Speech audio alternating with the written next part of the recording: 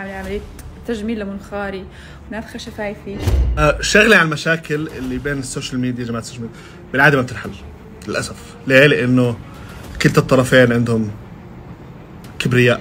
المهم هذا الشيء نحن ما كنا بنعرف فيه ابدا. هذا الشيء عار عن الصحة. ونحن آه، لسنا مسؤولين عن كل شيء بيطلع باسمنا كيف علاقتك مع غيث مروان؟ غيث مروان. أوه. غيث؟ لا غيث ذكي كتير يعني بيقدر من أي شيء يعمل ضجة.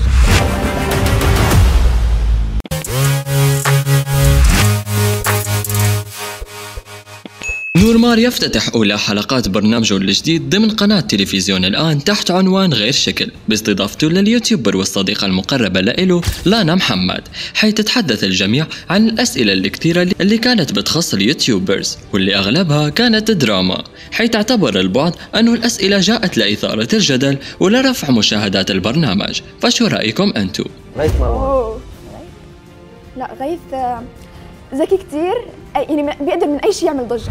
عزة زعرور أجابت ولأول مرة عن جدل إجرائها لعمليات التجميل ونفت ذلك عبر هالستوريهات بس بدي أحكي لكم إنه للي بيسألوا عم بكتبوا إني أنا عاملة عملية تجميل لمنخاري ونافخه شفايفي. فمنخاري زي ما هو من وأنا صغيرة. وشفايفي أصلا أنا ما بحب منظر الشفايف يعني علي أنا المنفوخين.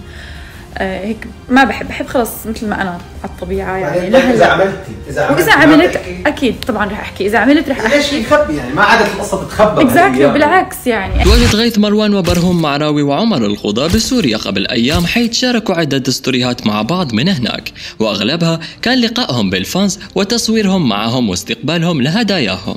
هذا غير احتفالهم بحفلة تخرج أخت غيث مروان لما حيث أقامت حفلة كبيرة شفنا من خلالها غناء ورقص وتجمع كبير بحضور شلة غيث مروان وانضمت كل من كارولين وجهينة للشلة بعد ساعات. غير عن ذلك فواجهت غيث مروان وبرهوم مشكلة. وقت تواجدهم بسوريا. بعد اكتشافهم انه في ناس عم تاخذ فلوس من متابعينهم ويوهموهم أنهم حيتصوروا مع غيث مروان وبرهوم مقابل هالفلوس فقررا الرد من خلال هالستوريهات على إنستغرام. okay يا جماعة في شيء ضروري لازم نقول لكم إياه أنا وبرهوم. yes مشان ما نطلع نحن يعني بسواد الوجه أول شيء واللي هو إنه نحن كنا بمكان قبل وسمعنا خبر آخر شيء قبل ما نطلع. إنه كان في ناس عم تاخذ فلوس مشان يخلوكم تجوا تتصوروا معنا. يا عيب الشوم. يعني الشم والله. المهم هذا الشيء نحن ما كنا بنعرف فيه ابدا. هذا الشيء عار عن الصحة ونحن آه، لسنا مسؤولين عن كل شيء. بيطلع باسمنا. أي حدا بده يتصور أكيد ببلاش. كل إيش فلوس يعني. في؟ كنا اختنينا من هون لبكرة. عن جد. فأي حدا تاخذ منه فلوس أنا آسف. أنا ما كنت بعرف هالموضوع.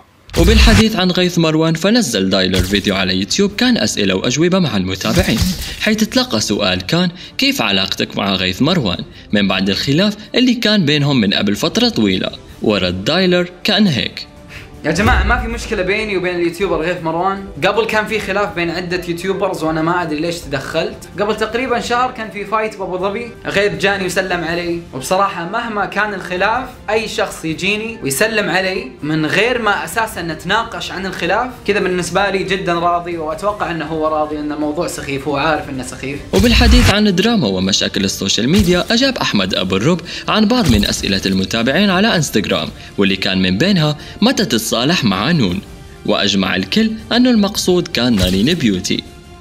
آه، شغلة عن المشاكل اللي بين ال social media جماعة السوشيال ميديا. بالعادة ما بتنحل للأسف. ليه؟ لأنه كلتا الطرفين عندهم كبرياء. أنا عندي كبرياء وهو عنده كبرياء أو هي فما نتصالح غالبا. وفي سؤال ثاني كان أنت ومتزعلين وأجمع الكل أن المقصود كان غيث مروان. وأجاب أحمد أبو الرب في مشاكل بيني وبين كثير من اليوتيوبرز في الوقت الحالي. عشان هيك عزلت نفسي وقررت أركز فقط على محتواي وما بحتاج حد غير رب العالمين. أنس الشاية بتواجد بفلسطين قبل يومين وذلك لحضور حفل زواج أخته. فشارك عدة ستوريهات وصور من هناك بهالمناسبة وعلق على story بيسان اللي باركت فيه لأخته ب عقبالنا أسامة مروة اختفى من على ال social media لفترة جدا طويلة لأسباب غامضة تساءل عنها الجمهور. والسؤال الأكبر كان متى موعد نزول فيديو قطر؟ اللي تم تصويره مع عدد كبير من ال YouTubers قبل فترة. وما سبب تأخير نزوله لحد الآن. حيث ذكر البعض عن إمكانية مواجهة أسامة لمشاكل تقنية خلت الفيديو يتأخر. بل اكتفى بنشر story علق من خلاله ب سامحوني عم نشتغل على كم شغلة. وراجعين بقوة. غير عن ذلك فأطل أسامة بستوريهات بعد عودته للتفاعل على إنستغرام واللي كانت من حفل عيد ميلاد أمه اللي صارت حاليا بدبي برفقة عائلة أسامة.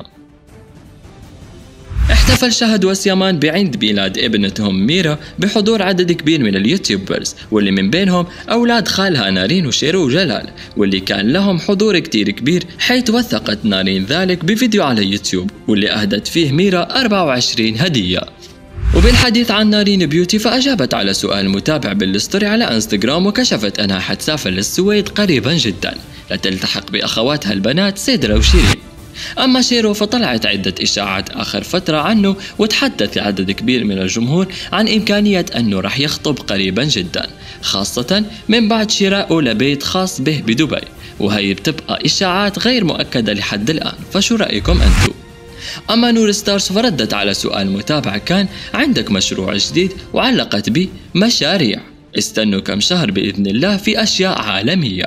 وشاركت صورة من الاستوديو وكتبت يوم كان صعب علي كنت ميتة تعب. فشو عم بتحضر نور ستارز لمفاجآت جديدة بنظركم؟ وإضافة إلى ذلك حتسافر لباريس قريبا جدا. أما عمر أبو الرب أخ أحمد أبو الرب فكانت بينه وبين روان داش آخر فترة دراما جديدة حيث اتهمها عمر بفيديو من فيديوهاته على يوتيوب بالكذب على المتابعين وردت عليه روان بستوريهات إنستغرام. ولا كم من حدا بعت لي post معين واللي هو هذا ال post. تطلع على الصورة عادي صورة عادية لهي ال YouTuber اللي حكينا عنها لو متذكرين الفيديو هذا هي كانت البنت اللي بتتقرفن من كل شيء اللي آه، بوفيه رخيص آه، صالون.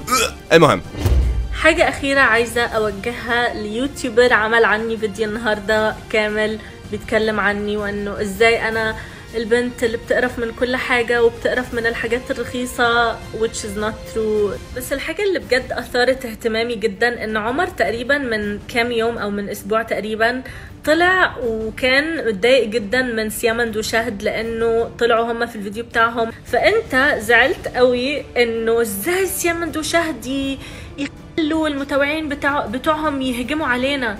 طيب بالنسبة لمتابعينك انت اللي دلوقتي بيهجموا عليا أنا مفيش أي حاجة وحشة ما بيني وبين عمر. بالعكس يعني عادي يعني إحنا أصلا ما نعرفش بعض وبالعكس أنا متأكدة كمان إن هو مش قصده أو مش نيته سيئة تجاهي. طبيعي لما تطلع أنت تتهجم على شخص أكيد المتابعين بتوعك بما إنهم معظمهم أطفال. هيتهجموا على الشخص ده وهيجوا يشتموا لا إنه أنا فعلا يعني يعني فعلا مش قصدي حاجة وحشة من الفيديوهات دي خالص. وهون نكون وصلنا لنهاية فيديو الأخبار. لا تنسوا تضغطوا على زر ال like وتشتركوا بالقناة وتفعلوا زر جرس التنبيهات لتوصلكم كل أخبار ال YouTubers أول بأول. ولا تنسوا تتابعونا على صفحتنا على إنستغرام عم ننشر فيها أخبار يوميا. وساعدونا نوصل 200 ألف متابع بأقرب وقت. بشوفكم بالحلقة المقبلة. إلى اللقاء.